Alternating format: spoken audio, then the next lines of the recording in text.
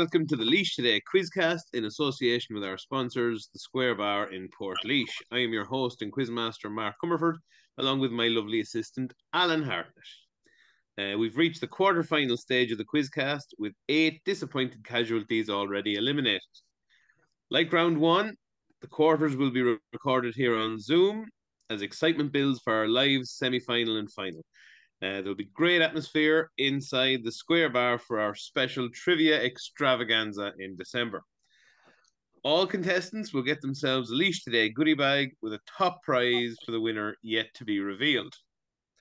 Let's introduce our quarter-final hopefuls. Contestant number one made short work of Darren Bracken in the first round and has his sights set uh, on a spot in our live finale. It's Courtwood's Brian Hogan. Welcome along, Brian. Right. Our second contestant put my lovely assistant Alan to the sword with ease in round one. uh, he says he knows nothing about sport apart from GAA. I'd call that a dirty lie. It's the Stradbally Parish Gaels co-captain, Pauric Ramsbottom. Pauric, welcome back. How you doing, man? Well, how are you? Alan, have you recovered from your round one ordeal against Pauric?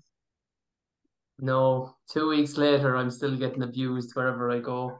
I was even I was at the Common One school today, and there was teachers taking the piss out of me and everything. It's it's very difficult, but it's not. It's not. It goes both ways. Pauric is has turned into a celebrity everywhere he goes. People say, "Geez, you done great on the quiz, Pauric. Well done." It's not right. That's it, Alan. Yeah, a lot of people have been saying it for now, so hopefully keep it going now. Yeah, well, you've a you've a tough one this evening because you're, you're up. I think uh, Stephen was saying to me today now, and so you probably won't know the answer to this question, but he reckons your fathers would have played against one another over the years and had great battles. So I don't know whether that's true or not, Brian. You you might be able to answer that. I don't know. I know the answer, and I think it's fairly true because Billy's your brother, isn't he? Yeah. don't- I, yeah, I was chatting to your father down at the park run a few times there through the years and that. Um, I don't think I've seen you talk out there yet yourself, but uh, Ah, I may get back down there soon myself. yeah, yeah. I know it's been a while, alright, since I've been down there. Yeah. I'm sure. It's my my You're own bit, you know. football not man. Yeah, I still I do a bit running though, but wouldn't not as many races, just kind of for football, like run Ah, own. yeah, of course, of course. Jesus, no, it's a, it's a tough place now with Saturday morning. Stop in Vicarstown as well. Yeah, yeah, exactly. Yeah, bit of a trek. All right, lads, let's get this rock and rolling. Uh, there are two slight changes to the format from the last 16.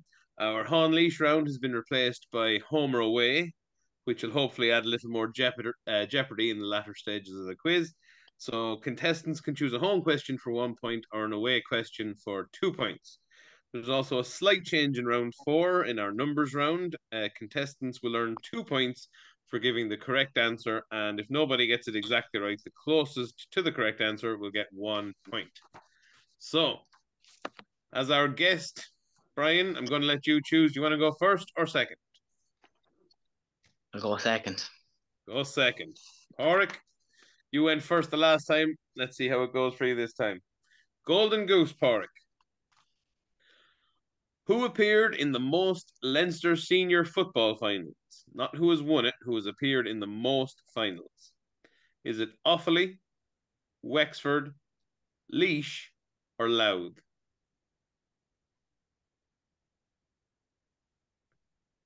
Who has appeared Football, in the most.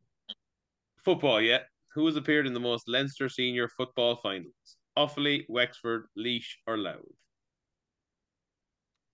So it's not loud anyway. It's Laois. Laois.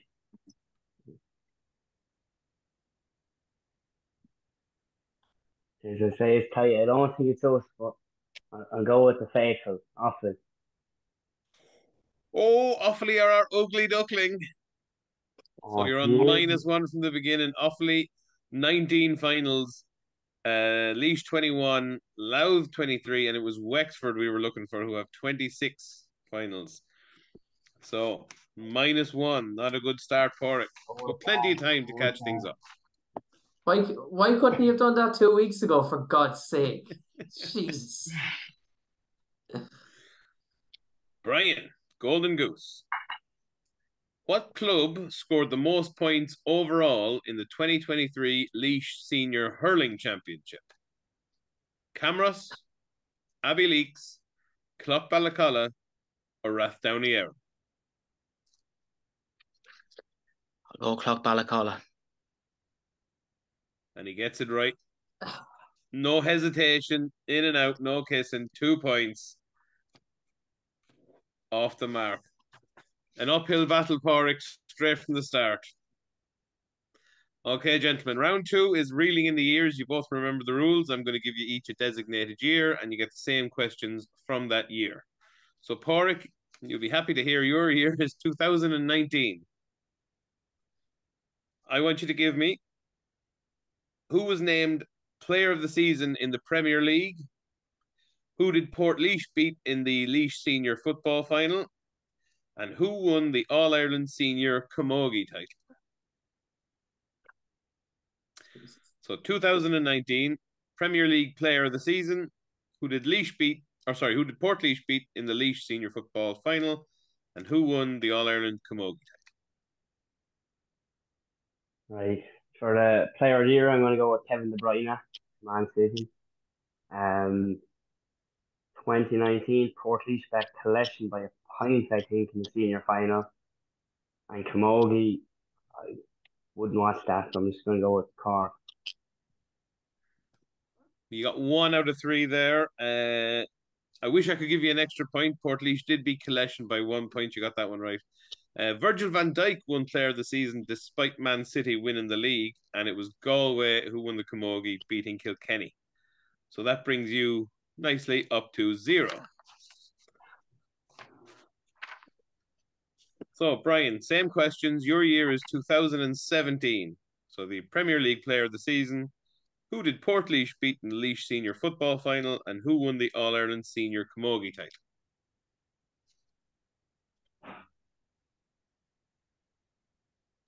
Portlaoise bet Ballylinan in 2017.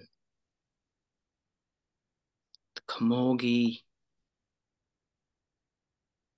I'm going to go with Cork because they won a lot of them. In 2017, it was N'Golo Kante. Got the Premier League Player of the Year. A clean sweep for Mr. Hogan. Portlaoise did indeed beat Ballylinan 313 to 10 points. Cork beat Kilkenny in the final, and it was N'Golo Kante as Chelsea lifted the Premier League. So three out of three puts you on to five points. It's 5 0. Pauric, I know how you feel. I know how you feel. It's not a nice Por- place to be. Pauric, you'll remember no. our bonus question, where if you get it correct, you get a point, and if you get it wrong, it's a you lose a point. You don't have to take it, but I'm going to give you the bonus option here. You don't take it, all right. Do with it. Well, we'll we'll see. Uh, in 2019, Pauric, who won the snooker world championship? My, ah, snooker. Sure, who watches that fight? For Jesus' sake, snooker. I I watch um, snooker.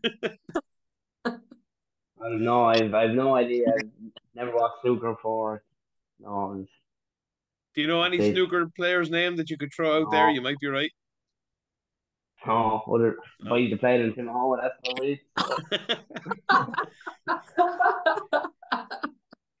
Alan, Brian, do either of you have, want to have a guess uh, at the 2019? Uh, see, like Ronnie O'Sullivan kind of made a bit of a comeback at one stage, didn't he? But I don't know whether that was the year he won it in. I shout out what? Mark Selby, but no, it was Judd Trump. He beat John Higgins. Mm-hmm. So that leaves Pauric back on minus one. Uh, Brian, you're six points clear. Do you want to go for another point? Do you want to push the boat out with a bonus, or do you want to leave it?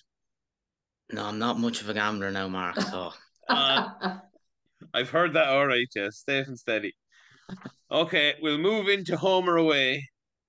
So here we have a GAA question for one point, or you can go away a different question, a different sport worth two points. Pauric, do you want to stay steady and get at least get back to zero if you get the football or the the, yeah, the football question right, or do you want to try earn yourself two points with an away question? How many questions are left, Matt? After this, we we head into our we head into our uh, head-to-head round where you can get you, there's a possibility of getting six points in that round if you get everything exactly right. So And I go away, so I'll take the away question. it's a darts question. That's another sport that's very popular in Timahoe. What Dutch player has won three World's Darts Championships?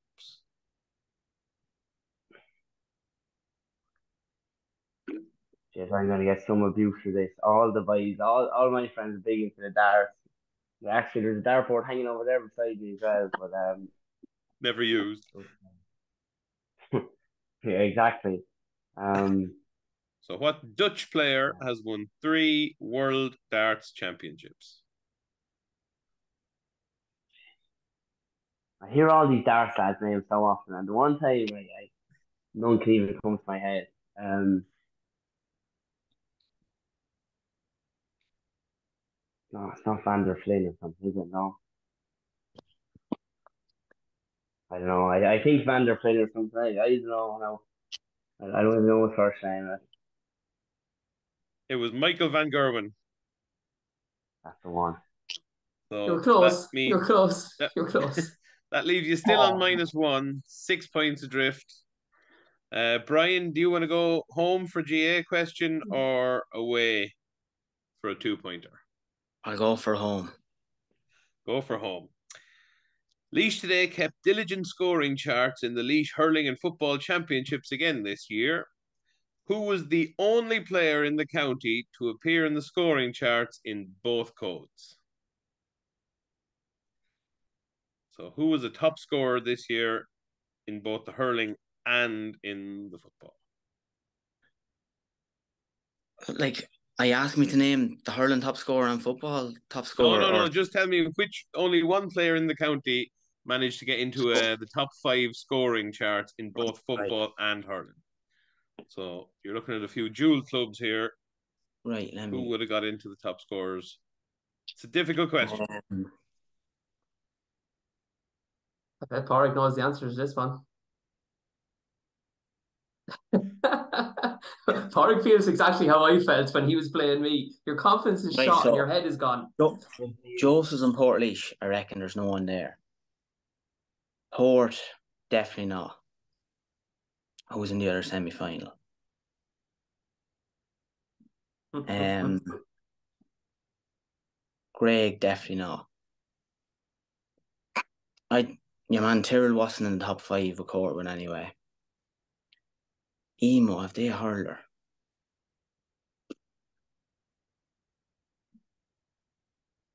Um, Paula Rosenallis. The gears are really ticking over now on this one. Jeez, I is it Paddy Keaton, Rosenallis? It is not. It was uh, Niall Corbett of Clonaslee St. Manman's. He was the top scorer in the senior football championship and also made the list at Premier Intermediate Hurling. So Fair enough. I think you'll be okay. You're still six points ahead. Pauric, you need to get every single question exactly right in our head to head round to bring this to a tiebreak. Do we have to do a thing on the chat here? Yeah, this is where you send the answers in in this round to uh, to Alan. It's a numbers round, so Do we to because it's on everyone here. Yeah, So so you can just change, yeah, change that to change that to me. And the other change that we've had brought in for this round is that if you get the answer exactly correct, um, it's you two get two points. points. If neither of you get it exactly right, it's the closest to the correct answer gets a point.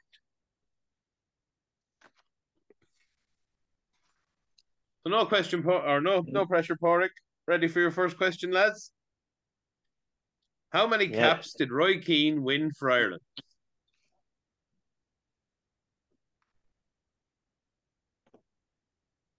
How many caps did Roy Keane win for Ireland? You're on your game tonight, Mark, I have to say. Very good. Very good performance so far. Well, we set very low standards in the first quarter final. We've one answer in. We've two answers in. Go ahead, Mark. The correct answer we're looking for is 67. And the closest to that is Brian Hogan with 81. Pauric unfortunately overshot the runway with 112. Well, that's done for you, Pauric, but we'll keep playing anyway in the last two questions here. How many Rugby World Cup matches have been played in Ireland? Ooh.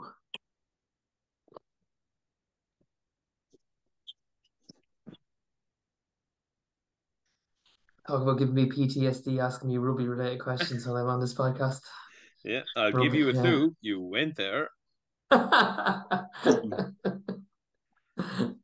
One answer in.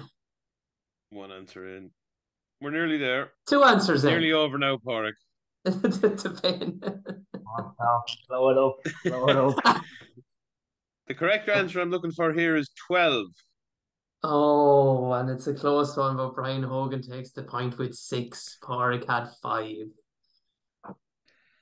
It was uh, there were five games played in 1991, seven played in 1999. So there's been nine in Dublin, two in Belfast, and one in Limerick. And so it's now seven players minus one with our last question. How many different Dublin players have been named Footballer of the Year since it began in 1995? So if you've won the award more than once, doesn't count. It's just how many times, how many different players from Dublin have been named Footballer of the Year. So, in other words, if I won it three times, I'd still only be counted as one person. Right. Hmm. Uh, Did you miss the coming to month school today, Mark? I was busy writing these questions with comprehensive answers today in case people like Jack Scully ask me difficult follow up questions. I have answers. I have the list of Dublin players here in front of me. Come on, good man. I almost said the number. Oh God. Brian's floating around the screen there. Pauric has put his answer in. I think I'm in. Pauric's waiting to try and get back to to Oh, zero. he's accepted defeat. He's had a howler. I'm in for some abuse. Uh, oh, sorry, hold on. Is that gone? Oh no, that's we're still waiting on. Have you put you haven't put him on yet, Brian? No. I, I put in the answer, Alan, yes. Whether Oh, it's has it? All right. not gone Oh yeah, Just- yeah. It's gone. It's gone. It's gone to me. It's gone to me. Yeah, we're in there. All right, the answer I'm looking for here is six. Good man, Pauric. I'm delighted for you. Pauric has has won that question with exactly the right answer to get himself into positive figures. Well done, Pauric. You deserve that. You deserve that, Pauric. Well done. Fair play, Brian. Best luck now. No bother, Pauric. Will you be will you be in the square bar that Friday night? I don't know. I think it might sit in now, alright, sure. You never know. Pauric- Brian, I think Brian owes you a pint now after that height Well, he's I- after giving you. Well I was gonna say I, don't I don't know if you're if you're of age to drink or if your mother and father be there looking, but if they're not looking, I'll buy you a couple of pints. Thanks, but no, I, I don't take drinks. I'm actually pioneer, so. Yeah. Yeah, yeah. Well, we might change that when we get you into the to square that bar. Well, in, yeah. in more serious, yeah, in more serious part, I am recruiting for my team on the evening, and uh, you'll you'll be you'll be in contention now for a spot on the what will be the winning team in the B competition that will be taking place on on the night. So, um, don't don't worry, I'll, I'll be in touch with you now.